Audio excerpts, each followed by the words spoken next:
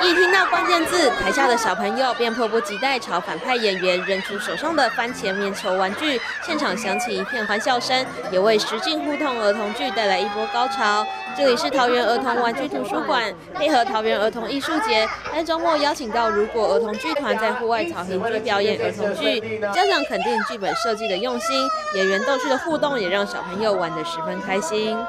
看，好看，你最喜欢什么部分？为什么？因为那边丢来丢去很好玩。就大概了解一下，还有其他国家，那其他国家的一些好玩的事情啊，还有番茄他们的，就是可以怎样变化他们的料理之类的，还不错。因为小朋友很小，就看看玩玩这样。那我觉得其实我对于如果儿童剧团其实蛮感动的，因为我认为他们的演出啊，或是一些做法都是完全以孩子为出发点。然后其实也会让小孩子可以融入在剧情里面，然后有些正向正面的教育意义这样子。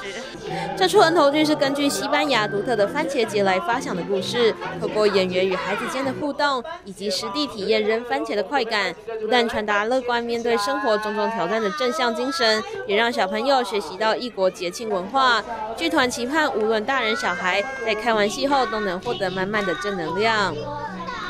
西班牙在八月的时候，每年八月都会有一个番茄季，我们就是以这个故事做发想来原创的一个番茄大战的故事。那我们希望透过这个故事，可以告诉大家，呃，角色中的睿智啊、乐观、聪明啊。那我们也希望可以让各位小朋友们、大朋友们，不管是爸爸妈妈或者是小小孩，在遇到任何困难的时候呢，都可以运用你的智慧，或者是运用你的乐观去解决，而不要只是垂头丧气的。因为往另外一个角度讲，就会有不同的解决方法。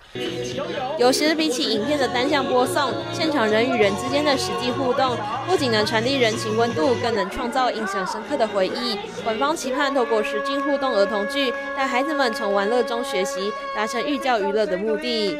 记者刘雨婷，桃园报道。谢谢大家今天。